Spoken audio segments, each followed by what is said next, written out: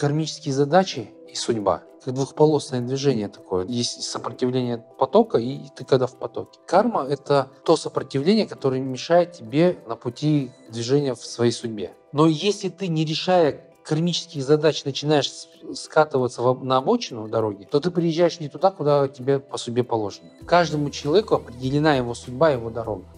Представь, что тебя привели на землю и дали тебе твою дорогу твоей судьбы. И эта дорога проходит по пляжу. Ты можешь увязывать в песке где-нибудь там подальше в материк по колено и жить эту жизнь очень тяжело.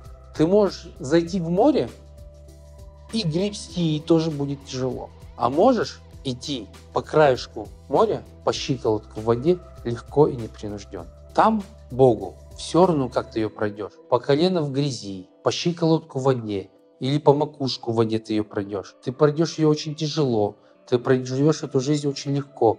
Ему все равно, как ты, он примет любой твой выбор. И это только твой выбор. Выбери легкую жизнь. Сделай так, как тебе удобно.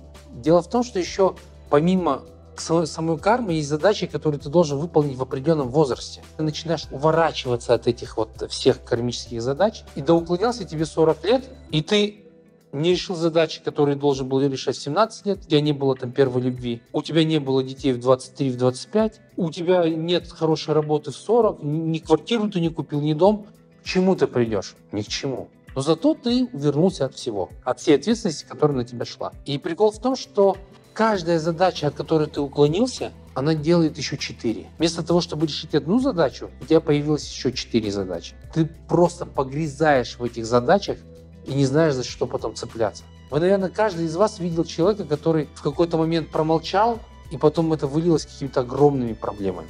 Мать не отпустила ребенка на учебу, и потом через 20 лет это такая проблема, что непонятно, что с этим делать. Ты женился и вовремя не сказал, что суп недосоленый, и всю жизнь ты ешь недосоленый суп. Это приводит к неврозу. Вы замечали, что проблемы, нерешенные в жизни, они повторяются. И мало того, что эти проблемы повторяются с каким-то с большими проблемами. Да? В аюрведе есть такое понятие, как колесо сансары. Это те круги, по которым мы ходим. Да? То есть это твоя жизнь. Ты прожил, вернулся к Богу, тебя опять, и ты крутишься. И очень важно, задача состоит в том, чтобы выйти с этого колеса, чтобы колесо сансары не проворачивалось еще один раз. Потому что каких-то теориях есть такие вещи, что есть 9 жизней, 9 воплощений, которые нужно пройти. То есть 9 кармических задач. Есть люди, которые остаются на второй год. Из жизни в жизнь это колесо крутят. С одной и той же проблемой. И поэтому говорят, вот это колесо сансары провернулось еще один раз. Это тогда, когда человек не прошел свой кармический урок. Поэтому очень важно проходить свои уроки прямо сейчас и здесь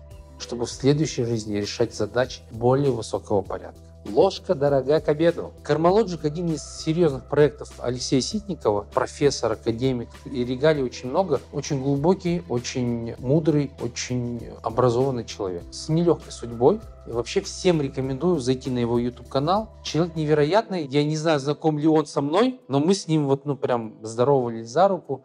У него есть проект Кармалоджик. 54 закона жизни как он его создавал. В Фейсбуке с группой ученых написал, какие жизненные законы вы знаете. И, в общем, в группе стали собираться люди. И люди там писали, года два это все обсуждалось, вплоть до того, что баба с пустыми ведрами на дороге – это не добро. Это все собралось в кучу, и он вывел 54 закона жизни и сформировал из этого книгу. И потом он, когда нес ученым, ученые говорили, да, вот это есть. Когда он нес теологам православным, они говорили, вот здесь вот это есть православие. К исламистам они говорят, вот это есть. Все-все-все подтверждали. И вот эта книга 54 закона, как нужно жить. Это свод законов, которые помогут тебе принять правильное решение все законы написаны кровью. ПДД, гражданское право, Конституции и так далее. И вот эти жизненные 54 закона, они тоже написаны кровью. Кто-то уже обжигался, кто-то бился. Это не, не, там, не увлекательное чтиво, это, ну, это надо прям думать ее прочитать невозможно за раз вот так, потому что я пробовал, у меня не получилось. По наитию ты можешь брать и наугад открывать страницу и читать, и ты будешь получать ответ. Ты можешь брать там по, по разделам какую-то прям тему и сесть прочитать, которая тебе интересна сегодня. То есть это настольная книга. И ты, в принципе, если научишься читать и слышать ту информацию, которая там дана, ты будешь жить более правильно, ты будешь жить как мудрец. Когда ты не мудр, ты все подвергаешь сомнению почему-то. Тебе надо перепроверить, пересмотреть. Но ты можешь прочитать эту книгу и искать подтверждение. Там к 40 годам ты поймешь, что это, в принципе, там все правильно написано.